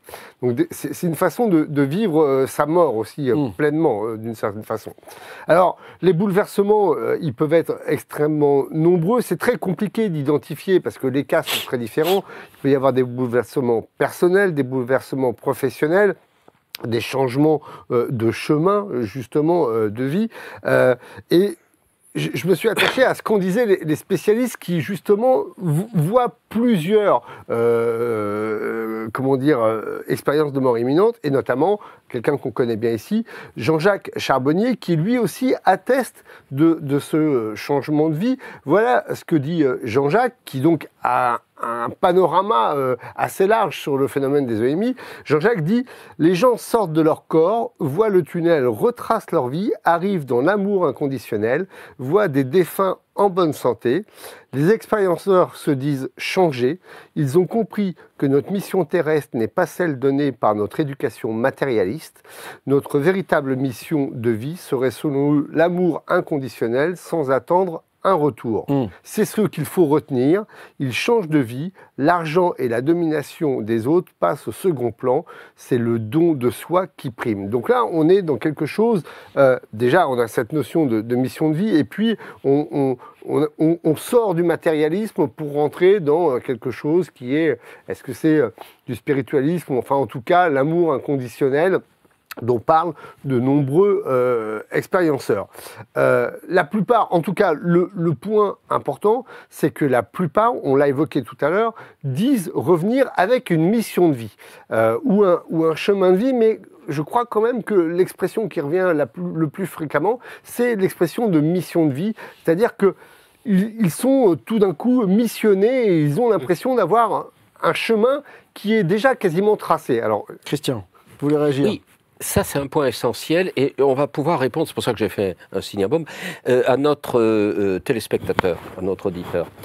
Euh, Il y en a qui reviennent déprimés, ou plus exactement qui à la suite de leur retour sombrent dans la dépression. Parce qu'ils ils ils ont trouvé ça super bien, en fait. Voilà, parce qu'ils ne voulaient pas revenir et euh, ils ont euh, agi d'une manière, euh, je dirais, un peu émotionnelle. Et la vie est trop dure ici-bas, pourvu que je revienne là-bas. Mais ça veut dire qu'ils ne veulent pas faire le chemin jusqu'au bout. Voilà. Or, alors maintenant, la notion de mission de vie, en fait, c'est une mission qu'on s'assigne à soi-même. C'est pas une mission qui nous est dictée. D'accord. On le sent. Quand ils disent, ils le sentent. Mais Mais c'est dommage de mourir pour avoir son chemin de vie, quoi. Ce serait bien de l'avoir avant, quoi. Oui, mais ça, c'est aussi. Il n'a pas la feuille de route. oui, mais c'est dicté. Après, savez, euh, après, c'est aussi, euh, comme je le dis, c'est-à-dire qu'à un moment donné, prends tes responsabilités et sache Ouais, ce ouais. que tu veux faire. Qu'il y a aussi plein de gens. euh, il y, a des- il y a des systèmes de décodage. bien sûr. hein. L'astrologie. En étant, je donne un exemple, c'est une amie de ma mère qui est maintenant une très vieille dame, qui a pratiqué 50 ans l'astrologie, et à l'époque de la mort de la princesse Diana, elle me dit il y avait la mort violente dans son thème. Hmm. Le thème astral, c'est pas une foutaise, je veux dire, c'est pas une invention baroque pour amuser les foules. Je ne parle pas des horoscopes là, hein. Hmm. mais euh, c'est une manière de lire les tendances lourdes qui sont dans notre origine, à notre origine, que nous avons développées. Ça ne veut pas dire que ça se fait automatiquement et pour sûr, hein, c'est pas totalement déterminé. Mais euh, on peut voir le chemin de vie dans le thème astral. Alors justement, on- ce sera l'objet d'ailleurs d'une émission de rentrée, puisque le 5 janvier, comme nous le faisons tous les ans, nous ferons ce que nous réserve l'année à venir avec Muriel Siron, qui est une des plus grandes astrologues françaises et qui, euh, tous les mois, euh, vous livre le, le vôtre, en tout cas vous aiguille sur ce chemin euh, qui est celui de, de votre vie. Et vous tirez les rois. Voilà, exa- exactement. Alors, euh, Mathias, donc on- n'a pas, fini. mission de vie, euh, et avec ce que dit Jean-Jacques, et qui confirmait, hein, j'avais le témoignage de Julien, bon je vais pas le dire ici, 47 ans, qui, avait fait une EMI, euh, alors lui, après une tentative de, de suicide justement, et il explique que en fait, il, sort du- d'une vie matérialiste pour avoir une vie justement qui est guidée par l'amour, euh, euh, l'humanité, le don de soi et, toutes, toutes ces choses-là. Et puis le deuxième grand critère avec la mission de vie, c'est le rapport à la mort qui est transformé. Tu l'as évoqué euh, tout à l'heure. Ça, c'est vraiment le point fondamental. Voilà ce que dit notamment ce fameux euh, Julien, 47 ans, euh, qui, vivait à Mont- qui vit à Montpellier et qui a vécu une EMI. Il dit Aujourd'hui, la mort, je l'attends presque comme une amie. La mort n'est pas une ennemie comme tout le monde le pense. La mort, c'est simplement un passage. Il n'y a rien de religieux dans les expériences de mort imminente, dit Julien. La mort, c'est une autre vie ailleurs. Mhm. Et ça, c'est Bah, un élément. C'est le thème de l'émission. Voilà, Mm. c'est ça. C'est un élément qui revient euh, très fréquemment et qui, du coup, semble libérer chez ceux qui reviennent, alors ah, peut-être pas chez tous, mais chez une immense majorité, euh, libérer les forces de vie, bizarrement. quoi. C'est-à-dire que ça, ça- ça- ça libère, le, le- en termes philosophiques, on pourrait dire l'ici et maintenant et la vie dans l'immanence propre. Mais beaucoup d'ailleurs, moi, d'expérienceurs que j'ai reçus m'ont dit euh, finalement ça nous permet d'appréhender au mieux la vie. C'est-à-dire qu'en Ah, fait de que- la vivre pleinement, de, de prendre conscience de toute l'importance de la vie. Parce que moi je dis souvent quand même que même si l'après est joli, ici et maintenant c'est magnifique. Bah, C'est-à-dire que la terre, euh, les rapports humains, l'amour euh, que l'on a, les copains, euh, la, la beauté de la planète, je trouve ça génial. hein. donc euh, voilà, il va falloir que ce soit beaucoup mieux après, hein, parce que déjà ce qu'il y a sur terre, c'est quand même pour moi énormissime. hein. et j'en jouis tous les jours. Je me dis, mais quelle chance on a d'être en vie, quoi. Il y, a- Donc, il y a euh, quelque chose, justement, et je, je vais reboucler sur, sur cette phrase de, de- de Socrate, philosopher, c'est apprendre à mourir, c'est que, en fait, euh, le fait de ne plus avoir peur de la mort et d'être affranchi de cette angoisse de la mort permet de vivre pleinement. Hum. C'est ce qu'explique, en fait, euh, c'est- la force qu'ils ont. Voilà. Quand ils reviennent, Et- ils disent, et- et en- c'est bon. Voilà. euh, et cette espèce de, de, de, de promesse de l'au-delà d'une vie après la mort permet de vivre Parce que la, la mort est une épée de Damoclès, de toute façon. Donc, euh, quand on l'a au-dessus de la tête, on se dit, Pff, ça va être compliqué. Ça lève d'une angoisse immense, en fait. Alors, qu'en pensent les scientifiques? On en parle dans une poignée de secondes avec Jian. Avant cela, j'aimerais vous emmener quelque part, un peu plus loin. Parce que quand on dit que c'est une porte vers une autre vie, est-ce que ce que l'on appelle les extraterrestres, est-ce qu'on a, les, ne seraient pas finalement des humains sur un autre plan ou, une autre réalité Mais dans tous les cas, une chose est sûre, certains disent être en contact avec ces extraterrestres. C'est le cas d'Elena Danan, donc euh, célébrissime euh, dans la sphère de la Confédération Galactique. Elle est venue sur BTLV. Regardez ce qu'elle dit. La nuit de l'abduction, j'avais 9 ans. On va se coucher et le lendemain matin, je me réveille dans mon lit avec des maux de ventre épouvantables, des maux de tête épouvantables, des marquages sur les bras et euh, du sang partout. Les états réticulis sont des petits gris. Il y a énormément de clones et de synthétiques, très peu d'entités biologiques, et ils sont asservis au groupe Orion. Dans l'année qui va suivre, je vais être contactée par deux personnages, deux êtres, grands, blonds, un homme et une femme. Ils font partie d'une euh, fédération galactique. Ils ont plusieurs équipes qui font les sauvetages, qui essaient de sauver les, les abductés. Et les gris, ils ont fait pendant des années euh, des abductions sur Terre pour créer des hybrides. Et la Fédération Galactique est contre ça, essaie de, a essayé de contrecarrer ça. Un ex-soldat pilote de F-17 euh, qui a travaillé à Area 51, la zone 51, que j'ai interviewé sur mon, ma chaîne YouTube. Il, est- il a été tué euh, quatre jours après. Et il a confirmé que euh, la zone 51, il y avait des, des extraterrestres là-bas, des gris, et des bases souterraines, oui, construisaient des vaisseaux aussi.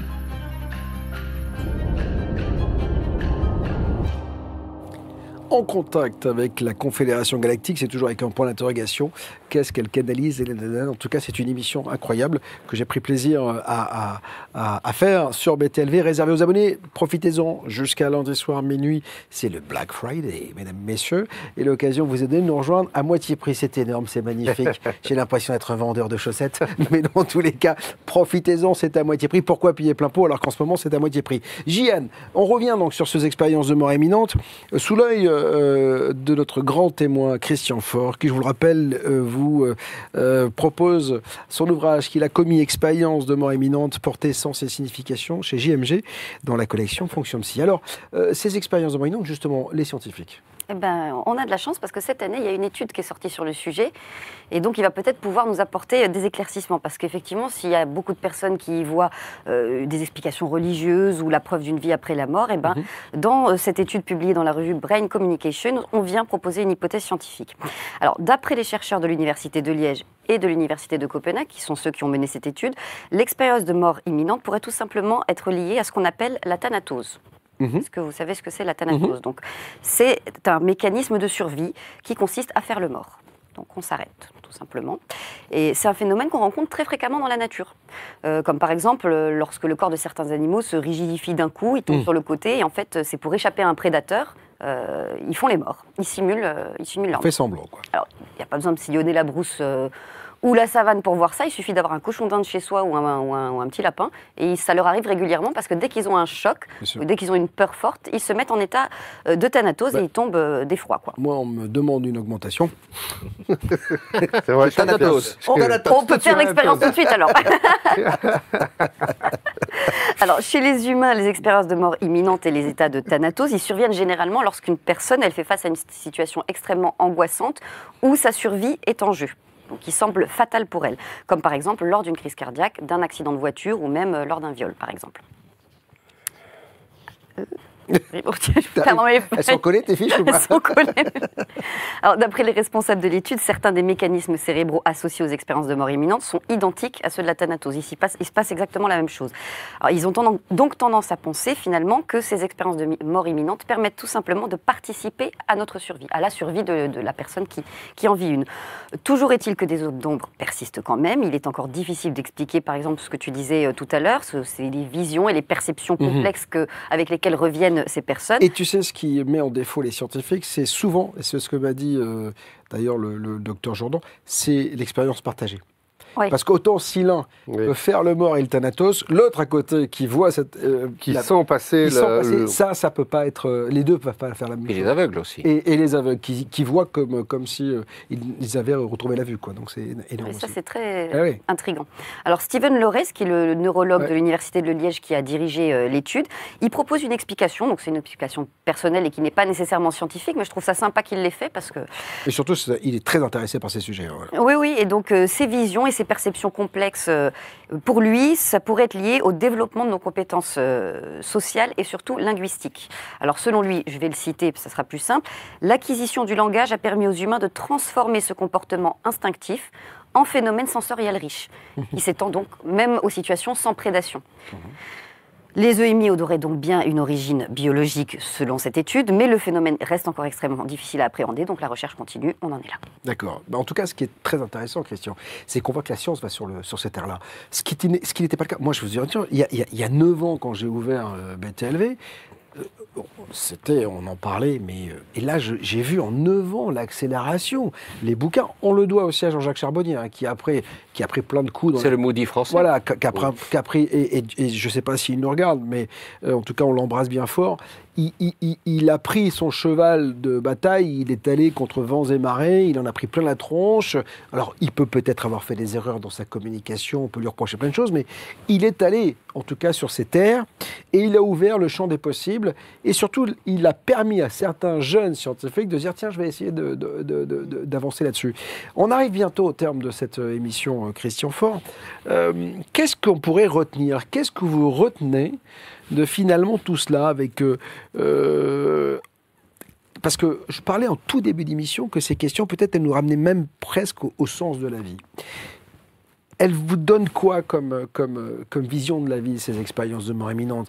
On est euh, là avant, on est là pendant, on sera là après, on va revenir, on fait partie d'un grand tout, de ce souffle qui, qui, qui a initié peut-être le monde, l'univers?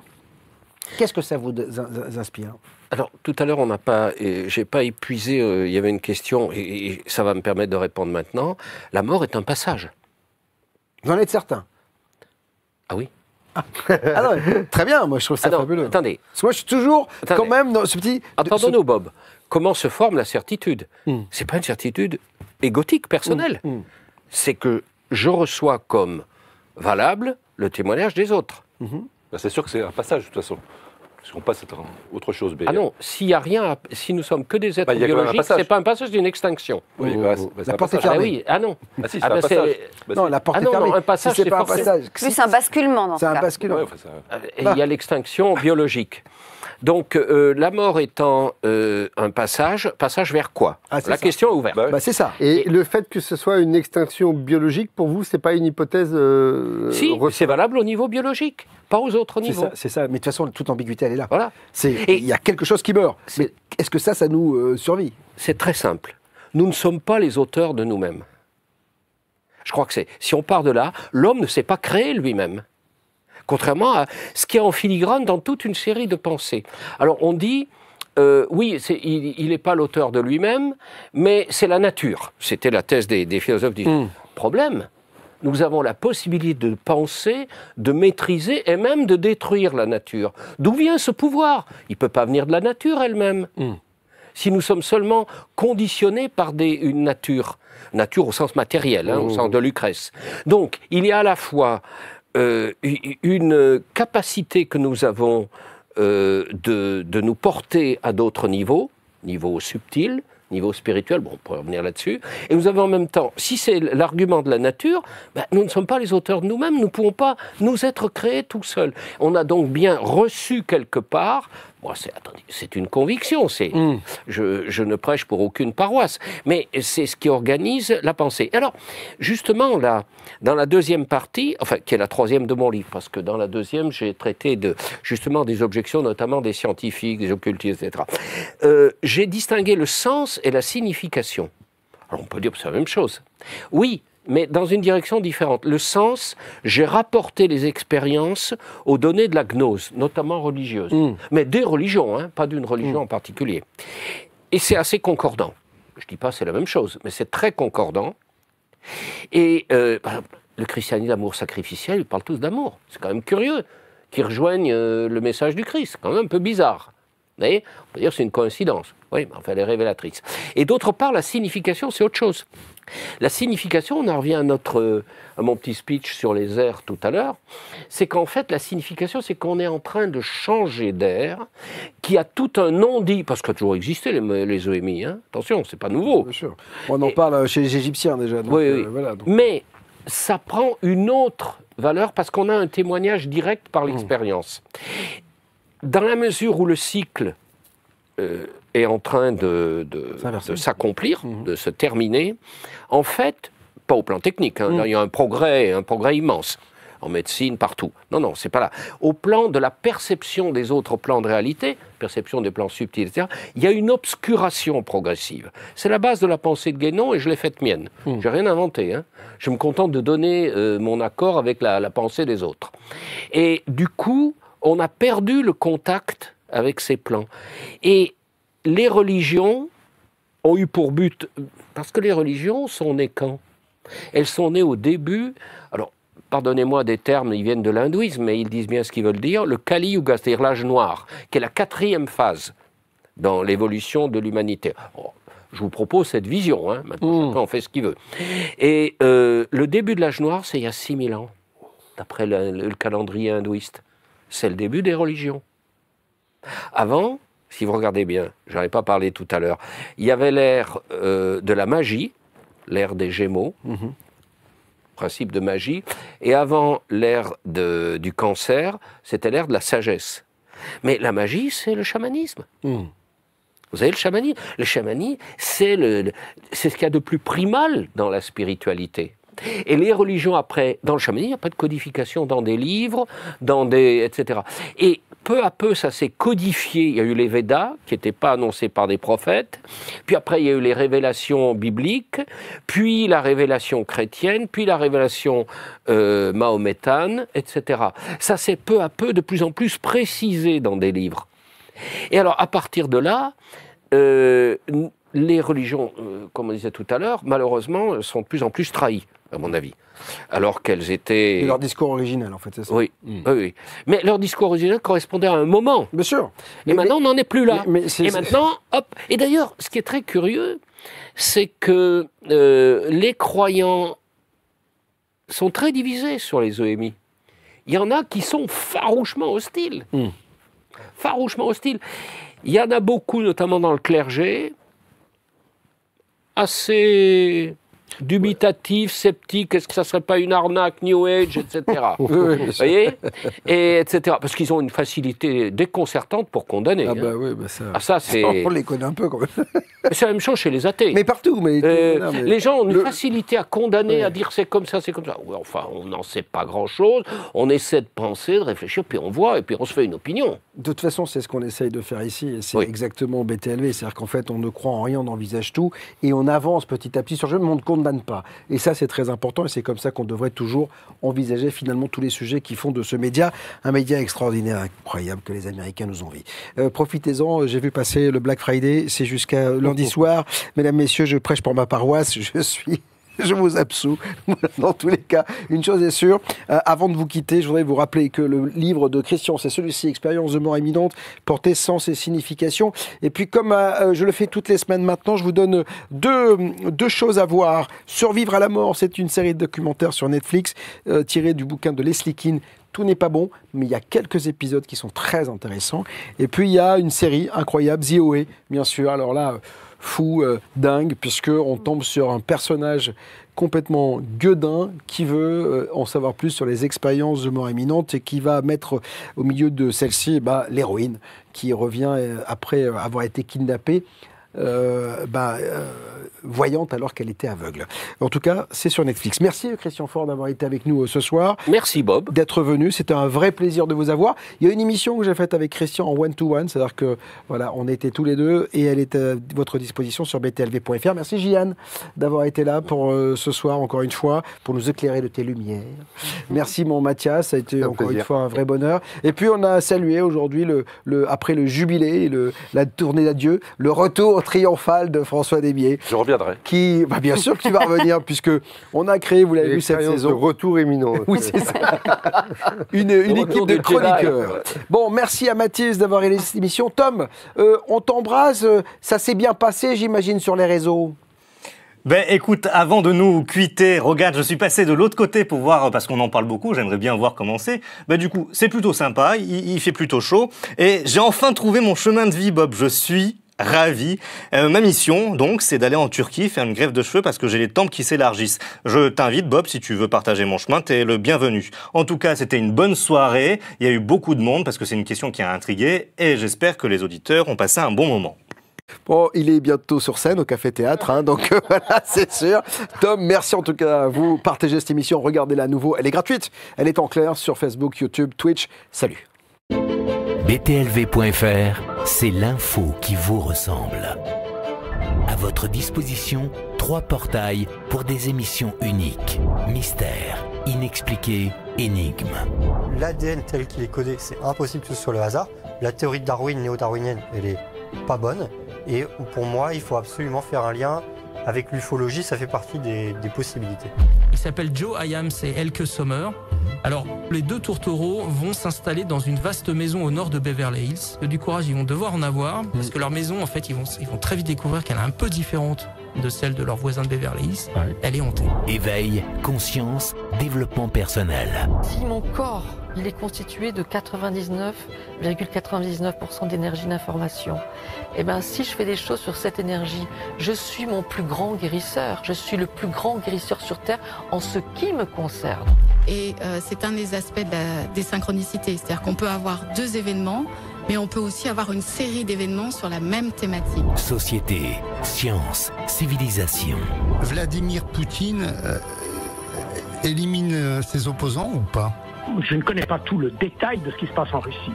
Et qu'il y ait des tentatives pour réduire au silence des, des opposants, des choses comme ça, c'est possible. Euh, C'est l'abbé Baruel qui euh, a tenté de, de- de faire croire que c'est euh, le- le- la, la Révolution française est un complot. Non, la franc-maçonnerie n'a pas organisé la Révolution française. Ne regardez plus la télé. Regardez BTLV. Découvrez toutes nos offres d'abonnement sur btlv.fr ou avec le lien dans le chat.